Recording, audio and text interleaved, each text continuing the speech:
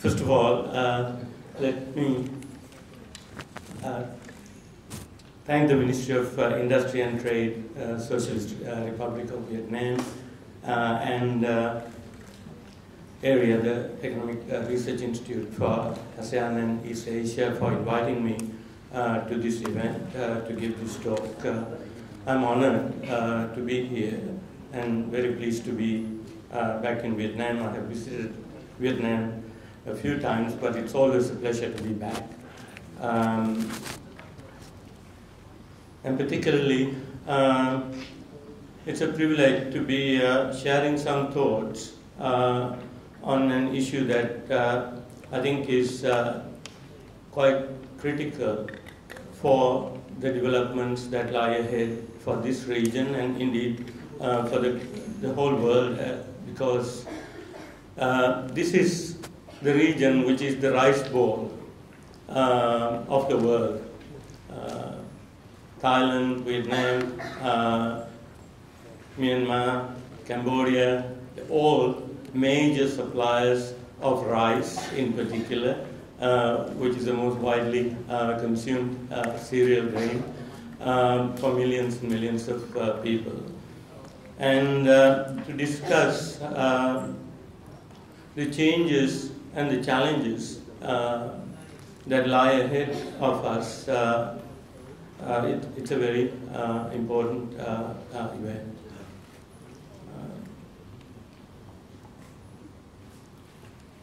So to summarize the, some of the points that I would be making or discussing very briefly, given the time constraint, um, there basically seems to be you know, two big issues. If this region is to go from where uh, it is now uh, to a region of high value-added agriculture, uh, it, it is a major agricultural producer, uh, but there has to be a leap forward into high value added agriculture. And in doing so, uh, two issues uh, arise. What are the policies that governments in particular can adopt to help uh, producers, agricultural producers um, in this region uh, exploit the market opportunities that are there? And secondly, because agriculture in this part of the world is dominated by millions of small farmers and producers, small fishers, uh, small uh, and medium enterprises. Um, how can we make sure that in making this transformation, uh, the benefits will accrue uh, in an equitable manner uh, to all these uh, small farmers and producers. So let me begin by just setting uh, the background and context. Uh, the Deputy Minister actually uh, provided a very good overview of the, uh, the general context. Uh, uh, so some of what I'm going to present is actually repeating the points that His Excellency already made. And this is a region um, of rapid growth. You know, after years and years of conflict and, and uh, turbulence uh, over the past uh, two and a half decades, uh, the region has been growing very rapidly.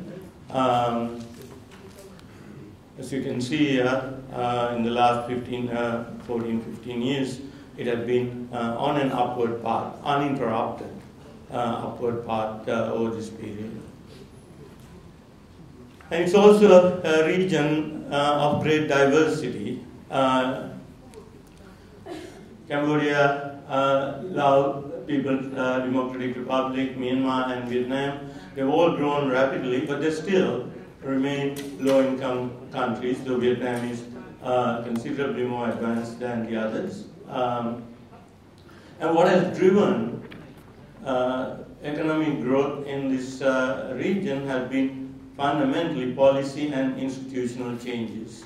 Um, and this has enabled the region to actually take advantage of global opportunities and also opportunities within the region itself.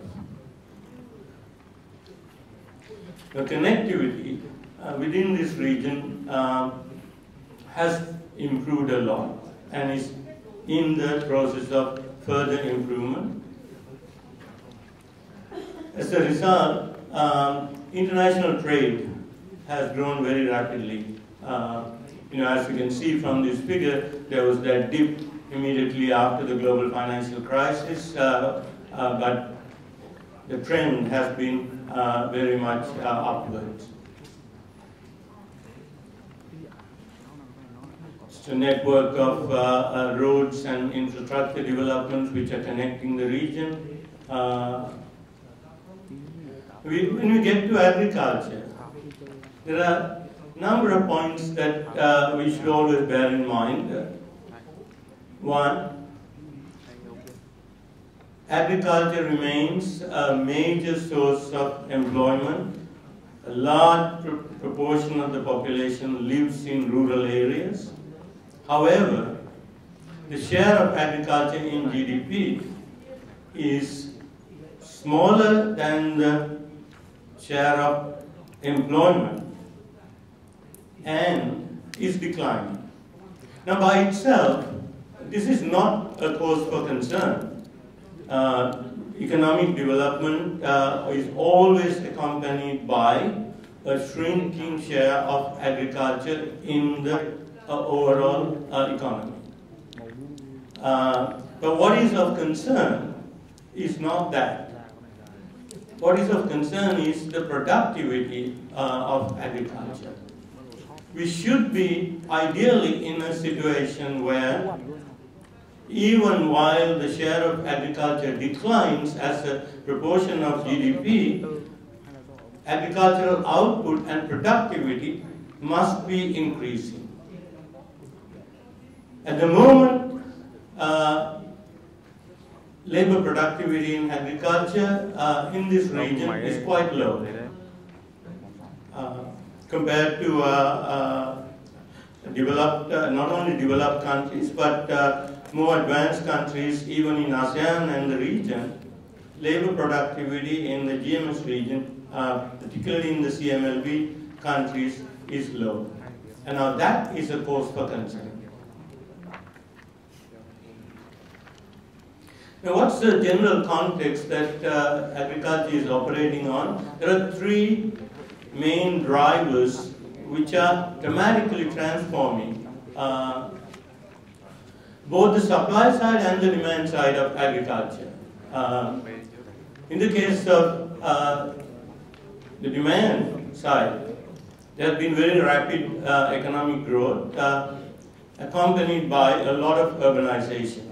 Uh, now, the, the absolute uh, levels of these vary from country to country, but the trend is very clear.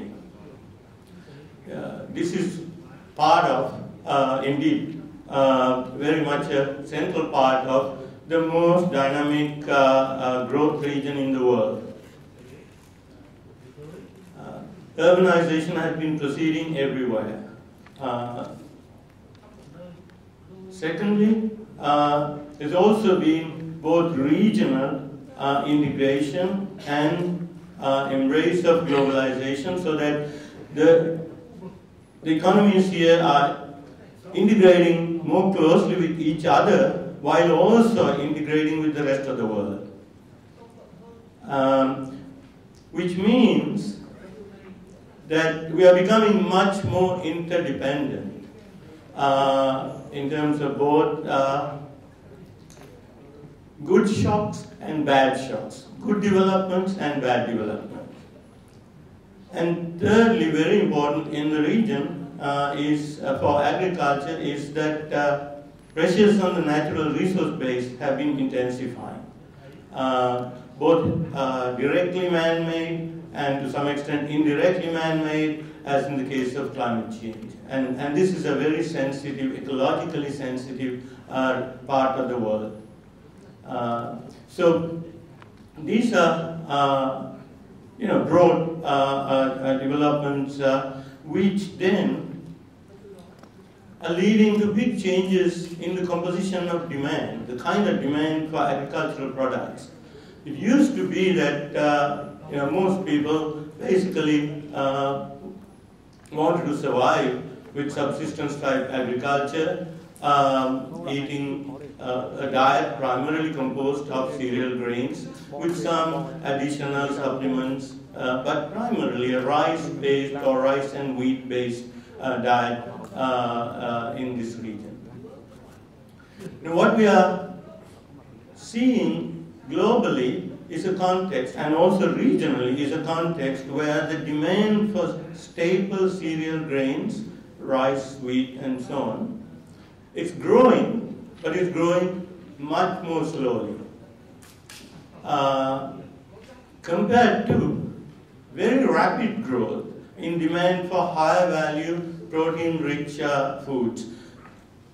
As incomes increase, uh, people want more diversified diets, uh, richer diets, and we see that reflected in the composition of demand for agricultural products uh, in, in the region and more, uh, more broadly globally.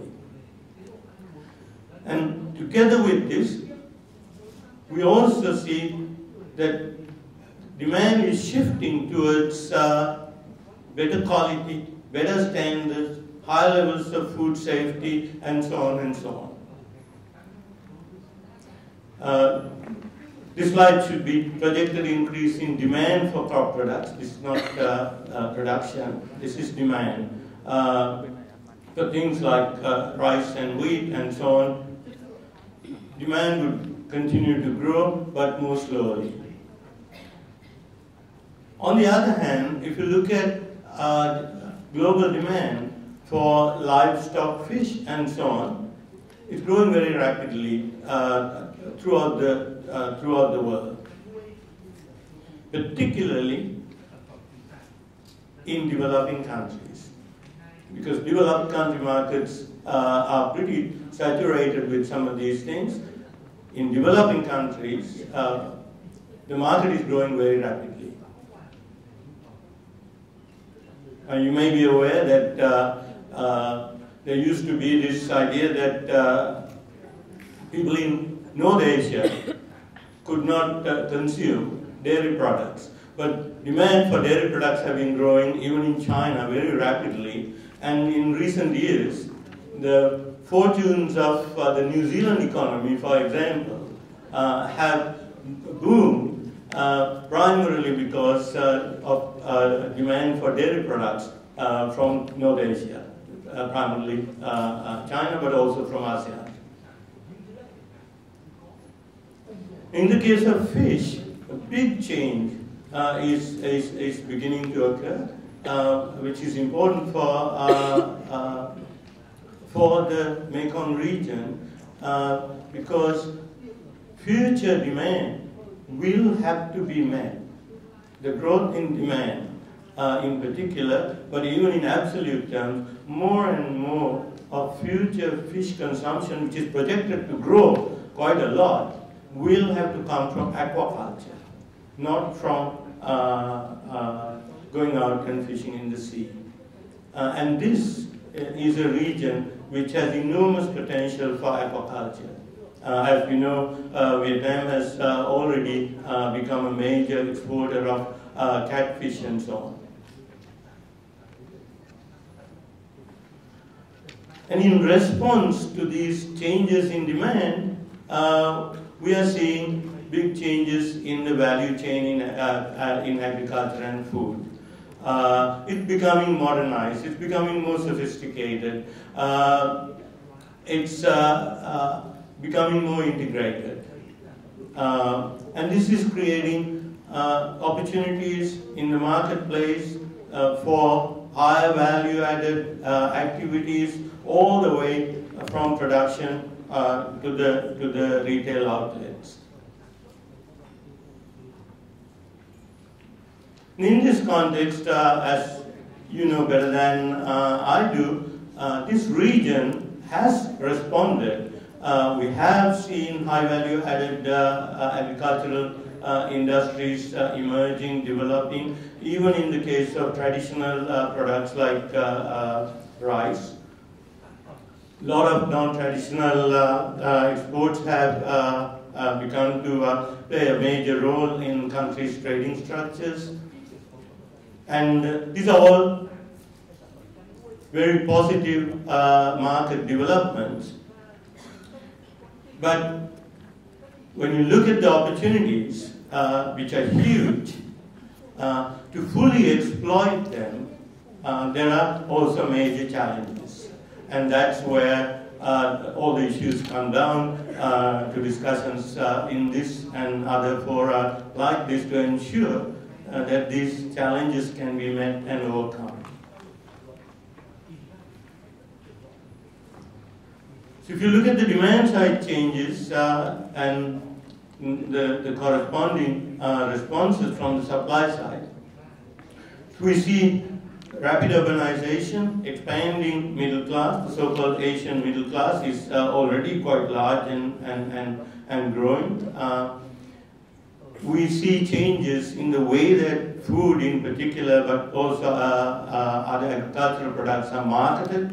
Uh, supermarkets are spreading throughout the region. Um, multinational enterprises operate, beginning to operate uh, everywhere uh, and local uh, chains emerging and expanding. Um, and what we see is that while these developments are taking place, they tend to, in general, favor large-scale producers and processors because there are good, sound economic reasons for this. In many of these activities, uh, there are economies of scale. Not in all, but many of them, there are economies of scale. So whenever there are uh, economies of scale, uh, it tends to uh, favor uh, large-scale uh, production, processing, and, and, and sales. Uh, so in terms of policy, this gets back to the, the two points that I, I made earlier. It's how to ensure that the, we respond, this region responds to these challenges, but also ensure that the small farmers and producers and SMEs uh, are able to cope and benefit from these changes. So a whole range of uh, uh, uh, issues which I wouldn't uh, go through in detail, uh, but infrastructure and logistical services. The role of these become more and more important as the value chain becomes um, more and more modern. When you got to produce better quality things, when you got to transport them to, to markets, when you got to do that both quickly and in a, in a way that uh, doesn't affect quality, then you need better infrastructure, better logistical uh, services. And then, uh, you know, this is a region where a lot of barriers to trade have come down, but there still remain all kinds of barriers. Not necessarily uh, only the tariff barriers that we are all more familiar with, which are being taken out more and more uh, through the uh, through discussions in various fora for agricultural trade liberalization. But there are still a lot of other barriers uh, to do with uh, logistical aspects of trade. Uh, then there are uh, issues about investment. you want to develop value chains, you want to take advantage of comparative cost differences in different uh, places, both within countries and across countries.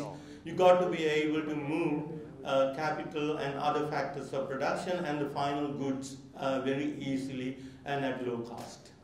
Um, and when it comes to agriculture, we have a whole range of challenges uh, in this area, even though the barriers to agricultural trade themselves have been coming down, though, though there still remains uh, uh, quite a few important ones.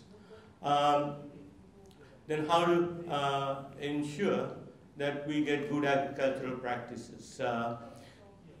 I wouldn't dwell on the need for uh, technology and innovation, for better production processes and cultivars and so on. We take that for granted. But on top of that, we got to ensure uh, good agricultural practices, particularly in the form of climate smart uh, agriculture because of the, the, challenges we face. and then the issues of uh, small producers and SMEs, and then related to that, I will uh, uh, touch on this again, uh, what kind of regulatory and policy settings are needed to ensure that small producers can integrate into uh, modern value chains where there is no abuse of market power uh, or, or, or, minimize abuse of potential abuses of market power by the bigger players so that benefits can be equitably shared. So I wouldn't uh, go into detail uh, discussions on the on the issue of uh, rice in particular. I know that there are other speakers uh, who will uh, discuss that. Uh, but of course, this region is the world's rice bowl, as I said, and that ought to remain so, and all the efforts should go there. But I will I will tend to I will focus a bit more on some of the other aspects of uh, needed changes and other non-rice related issues uh, uh, because the region now needs to go from uh, a rice bowl to a much broader bowl of agriculture and food for the world. Um, so you got to diversify the product mix. Uh, and you got to diversify uh, also the destination markets for each uh, product. Uh, because uh, diversification is the key to survival and resilience in a world of high volatility and instability. Um, so how to use the region's comparative advantage, which we know exists and is enormous, uh, but in order to exploit that comparative advantage, we need uh, to use, uh, we need to get the complementary factors in place. Uh, but when it comes to diversifying, particularly in high value added products, the suppliers have to face up to the challenge of ensuring that they can meet standards. And I, when I say standards, I mean standard across a whole range of uh, dimensions. Uh, So just uh, I was reading uh, while I was preparing this talk uh, about what was uh, happening uh, with agriculture in, in, in, Vietnam, and I saw this news item in the in the Voice of Vietnam, uh, highlighting two things. One, here's a new major export commodity that has come up, dragon fruit, which you know 30 years ago was you know, minor uh, part of the market is now a major, uh, it's, a, it's a major uh, food product. I can go to a, a, supermarket in Australia and, and, and buy dragon fruit, which I wouldn't have seen uh, 30 years ago. Uh, so this is market response to uh, growing demand, but at the same time, his Vietnamese market is dominated uh, the external market is dominated by China. And why? Uh, because it does not set that strict uh, requirements uh, on quality. So you end up exporting uh, to, some, to one market, you become dependent on that market, and uh, since then, I don't have to, to mention it, uh, in this audience uh, the issues with uh, fish exports to the US from Vietnam. Uh, you depend on, you, you supply to a market, uh, and then the, the, the goalposts change in terms of what the market is supposed to uh, expect. So these are all issues that farmers producers and governments have to deal with. Uh, this is part of uh, being uh, integrated with world markets. There's the economics of world markets and the politics of world markets. And policies must uh, be formulated to be aware that uh, in the marketplace almost anything goes and you got to be prepared to be flexible and nimble in handling uh, issues as they arise. So overall, uh, how am I going for time? Okay. So there's this issue of uh, quality, safety standards, every market where you want to export to, and increasingly, even in urban markets, uh, particularly urban markets, even in this region, uh, issues of food safety uh, become increasingly more important. Consumers demand uh, better quality, better standards of food safety. Then if you want to start selling uh, things like organics or you want to meet other standards, the traceability issue, uh, which now the, the, the, Americans, I understand, are pushing hard on the catfish uh, issue, traceability, suddenly this comes. But this is bound to happen. These things are bound to happen. Um, the whole issues of uh, certification, uh, traceability plus certification plus uh, you know uh, what what levels of pollution are there or not. Uh, all this means that you need to have technologically sophisticated processing, packaging, storage facilities, uh, labs to do the testing, and then reliability of supply.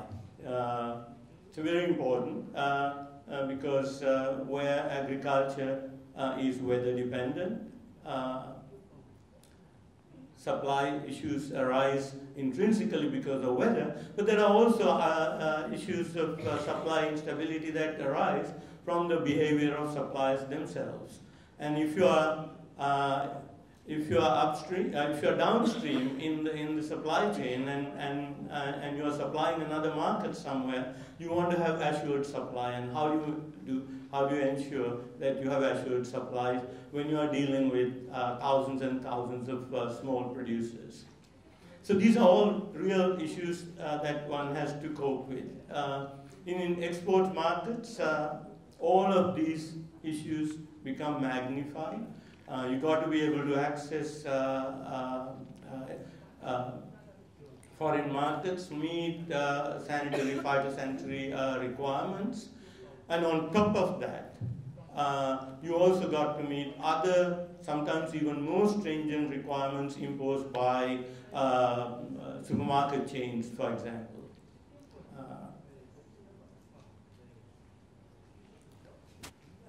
so in terms of policy, it's, uh, you know, it's absolutely essential that we have not only trade liberalization, but trade and investment liberalization.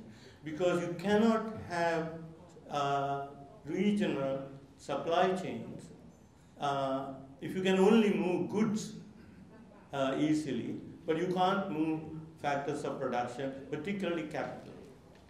Uh, And something that uh, research uh, demonstrates over and over again uh, is that uh, foreign, foreign firms uh, can play a major role. they can also do really bad things, but in the right, given the right conditions, foreign firms can play a very positive and important role in this kind of agricultural value chain uh, and, and, production uh, uh modernization. Because they can provide technology uh, upgrading, even, but also access to foreign markets. they can provide access to foreign markets because they know the rules of the game uh, they have got market information. They have been operating in these markets. Uh, uh, so they have got the context. Uh, they have got uh, the, the linkages. And all of these can be important. But at the same time, domestic firms can and ought to use these uh, opportunities and develop further. They should, this does not mean that they should forever remain uh, small, uh, minute firms. If you think of the CP group in Thailand, it's a great example of how uh, uh, uh, uh, uh a, a, firm from a developing country, a small firm initially, from a developing country becomes a mega multinational in the agricultural in the agricultural production sector. but this is a process where you develop relationships, you develop contacts, you develop uh, uh, linkages so that domestic uh, firms and foreign firms can come together and work together uh, to the benefit, mutual benefit of everybody. Uh, and here, one particular uh, importance of having linkages with foreign firms is because of the politics of international markets. you know, as demonstrated over and over again,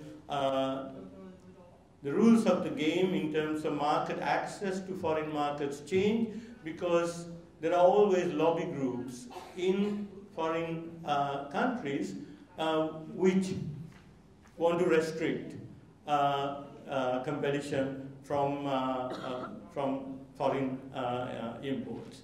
Uh, sometimes they are from foreign imports, sometimes one firm already is importing from uh, uh, one country and, and another firm wants to uh, get something from another country and you got uh, competition. So domestic lobbying in the political process is a, is a fact. It's a fact of life. This places particular difficulties uh, on exports of agricultural products in particular from uh, uh, developing countries because this is where these rules can be very easily manipulated. Uh, sanitary phytosanitary regulations, even the WTO mandated uh, regulation, they allow a lot of leeway for each country uh, to manipulate them. Uh, they look like scientific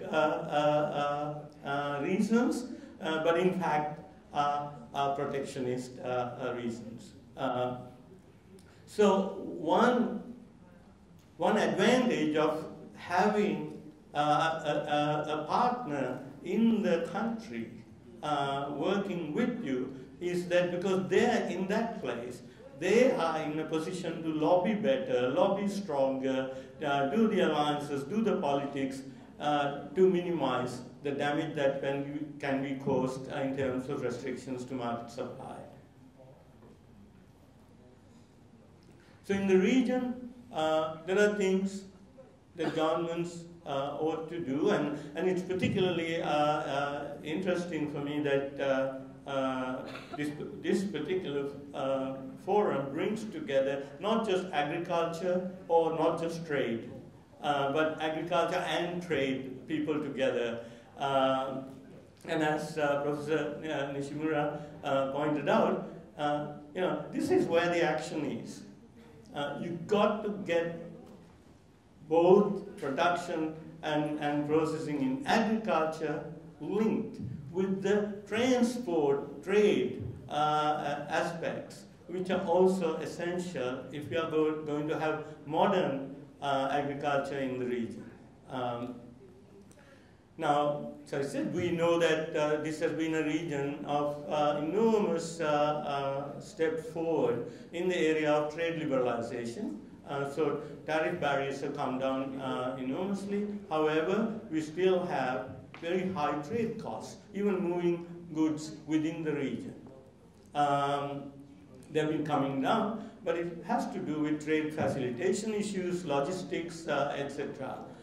for both for establishing production networks in the region where you got to be able to move uh, cross uh, borders within the region, but then to move things to distant markets, you got to uh, address these issues. And some of these issues uh, really are relatively low cost in terms of the money funding investment that is needed. It's a matter of will and, and, and, and uh, pressure to go ahead and make the changes. Thank you. Uh, the region is becoming, uh, it's easier, communication is getting better because uh, we have the ICT revolution. This offers uh, great opportunities to, uh, to enhance trade and, and logistics in this region. And there's huge scope because at the moment, logistics is obviously lag, lagging behind. Uh, uh, this is an area where improvements, potential improvements, uh, uh, can be made uh, and ought to be made if you were to go forward. And then I'm running out of time. you know how millions of small producers and SMEs can share the benefits. You know, I, I often go to fora where particularly uh, NGOs and other social organizations say, if you get uh, if you get the large firms uh, to operate or foreign firms to come in, uh, they're just going to come and exploit the poor farmers and, and small producers, and they'll get wiped out, and all the benefits will be captured by, uh, by the foreign firm. And uh, a lot of people will actually end up worse than before. This is a legitimate concern. There's some research uh, that ADB has done in, in, in, in, in uh, Indonesia uh, which shows, yes, uh, it can happen. But the challenge is how not to let it happen. Because the other option is not an option. We cannot modernize, this region cannot go forward uh, with high, into high value uh, uh high value added agriculture unless we integrate and work with these value chains, the high value chain, the, the global value chains, uh, work with foreign firms, work with large firms, processes, and so on. So the real issue is how can governments help? Uh, and how can other social organizations help? this transformation, that is a necessary transformation from small farmers, SMEs, to make the transition to become modern enterprises. This is necessary.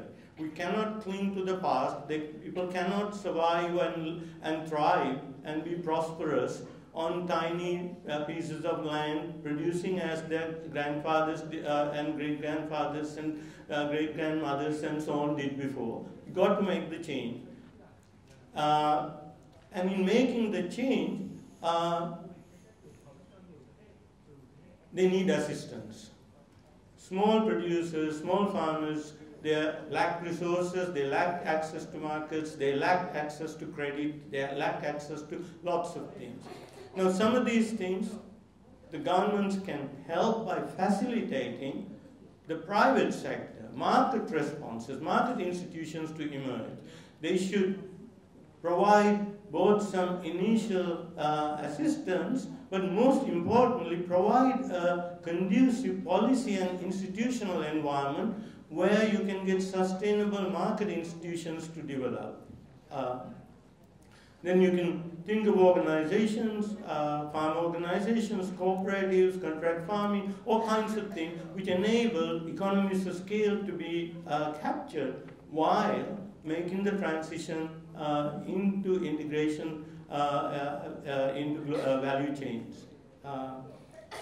so I put down a few points that I wouldn't elaborate, but we could take them up later. Now, what's the global context? Uh, you know, immediately if you look ahead, we are operating in what has been the worst economic times in our lifetimes, and I'm quite old. Uh, and and uh, really, we haven't seen anything like this the, since the 1930s uh, in, in the global economy.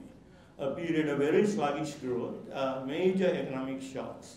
Uh, and and uh, from this region, uh, rapid growth in China was it stimulated economic growth everywhere in, in, in the last two decades, but that's slowing.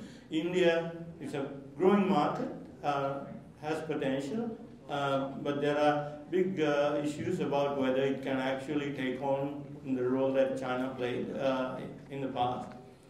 Then there are all these other changes like TPP, which will have direct impacts on Vietnam as a, as a member country, uh, but will also have uh, impacts uh, everywhere else. Uh, in, but it, uh, it's not all bleak.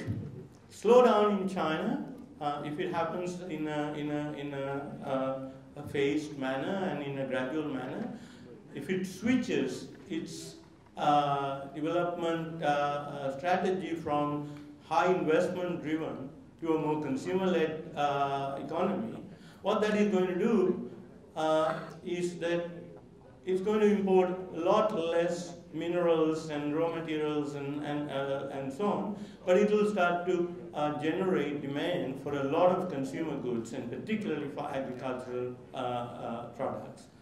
So the, the, change in composition of demand could actually work uh, to re-emphasize the importance of agriculture, not only for feeding people in the region and addressing the food security issues in the region, but also uh, it will actually expand uh, the, the market outside. Uh, so there's a market opportunities uh, moving up there. And being placed here, just next to this uh, region, India on that side, China on this side, uh, and now increasingly the world markets at your doorstep because of developments in transport and communications. This is the way to, to move forward. So I guess my final message is, you know, I'm basically repeating uh, what uh, His Excellency the Deputy Minister uh, started off saying. Uh, you know, slightly different wording, but I say embrace, you've got to embrace globalization and modernization. We cannot go back to the past. That's, that's not an option. So you've got to uh, enhance the development of value chains, but make sure that you've got the right regulatory measures, policy measures, institutions set up so that small farmers, SMEs, domestic consumers can benefit and share